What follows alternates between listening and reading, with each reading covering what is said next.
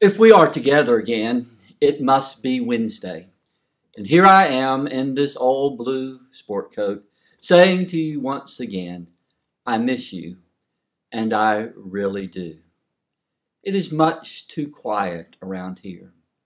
Not so long ago, this place was so alive with the sound of your voices.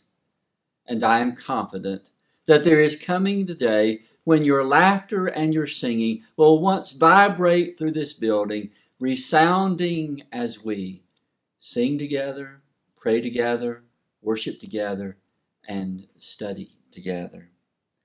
These are tough days, and we do need a little good news. We do need a break from all the troubling stories that are milling around us. Because if we are not careful, we will come to assume that all news is bad news. And we'll find ourselves convinced that the good old days are gone forever, never to come back again. When things get this way, we need to see things differently. We need to take a look from a different perspective. We need to turn off our devices and stop that steady stream of information that comes our way. We need a little good news today. We need a song to sing. We need a tune to whistle. We need an inspiring story to tell. We need an example of kindness to emulate. We need to change our perspective so that our souls will be filled with a light that will dispel the darkness that hangs too closely to us. So today, we have a little problem. Good news is swallowed up by bad news. Those feel good stories are buried in the back pages somewhere. Inspiring stories are hard to find. Songs that lift the heart are rare. But if we desire to hear a little good news, we must become more intentional. There are good things in plain sight if we will just wake up and be aware of them. Yet, some days we do have to look diligently for them. We have to be like that old grizzly gold miner panning the waters for that precious nugget. We have to pay attention to what's going on around us. Listen to the birds singing. Watch the squirrels scamper through the trees. Count the red birds that sit outside your window. Spy on children as they're playing make believe. Notice people doing acts of kindness and compassion for others.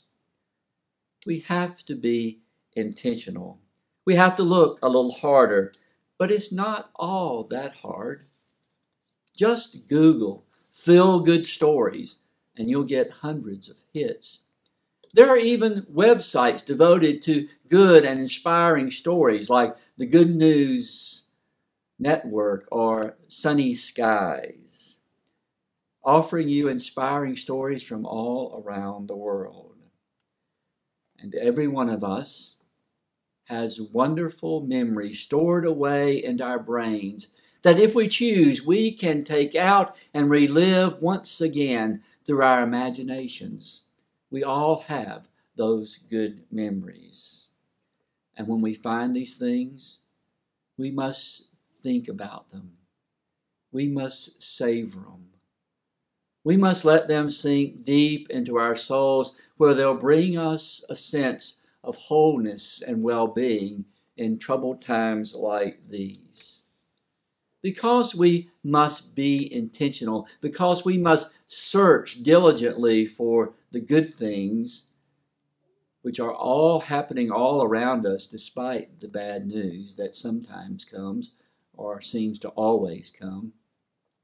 I've chosen special verse from Philippians, Philippians 4 8, to guide our time of prayer this evening.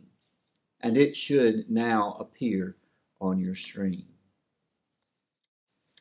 Finally, beloved, whatever is true, whatever is honorable, whatever is just, whatever is pure, whatever is pleasing, whatever is commendable, if there is anything of excellence, and is there anything worthy of praise, think about these things.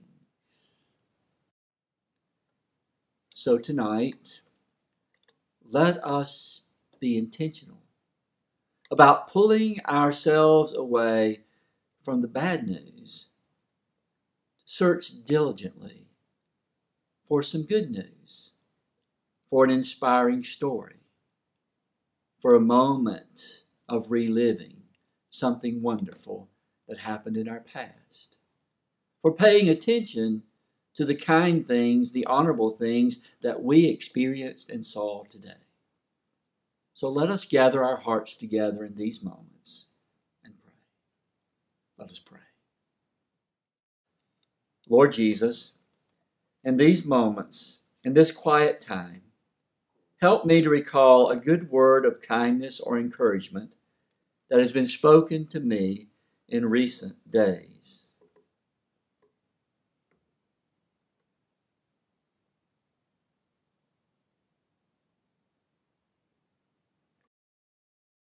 Lord Jesus, may your Spirit guide me to a place where I may read stories and books that inspire me to affirm the goodness of people and life and resist the intrusion of bad news that comes uninvited into my life.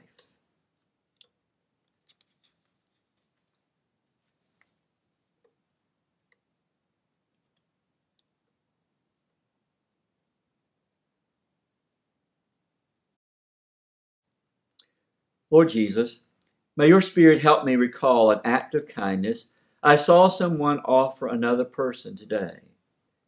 Help me to count even the smallest acts of kindness I witness today.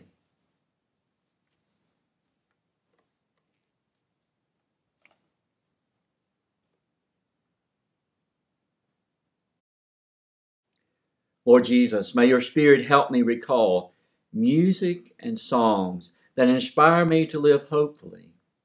Grant me the energy to play the music and to sing along with the songs so my soul, my spirit may be lifted.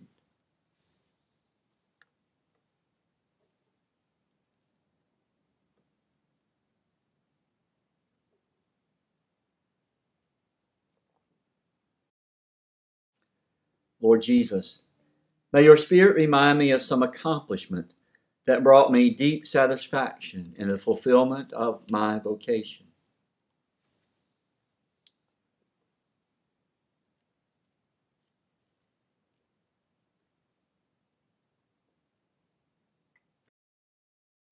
Lord Jesus, may your Spirit remind me of a movie that has inspired me or reaffirmed my belief in the goodness of people. Encourage me to find that movie and dedicate the time to watch it so that my spirit may be renewed.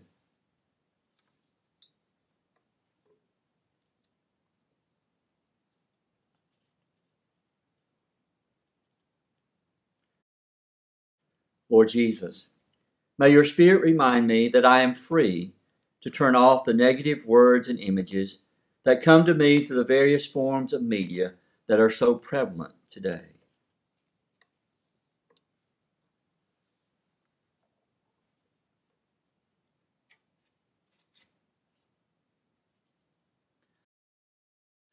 Lord Jesus, remind me that I may excuse myself from those individuals who only focus on what's wrong with the world, and I may choose to be with people who are more hopeful and enthusiastic about life, even during this peculiar time.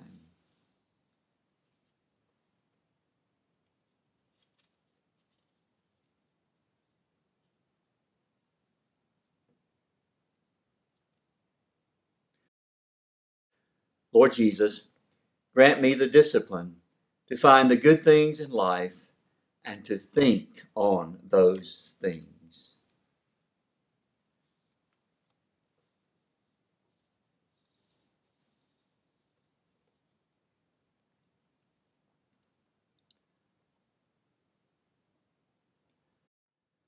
Let us now join our hearts and spirits in prayer. Lord Jesus, we give thanks for the beauty of your world, for the morning sunrise for the melodies of the universe, for a cool breeze on a hot summer day, for a gentle rain falling upon the earth, for the singing of the birds, and for the evening sunset, which reminds us of the goodness of creation.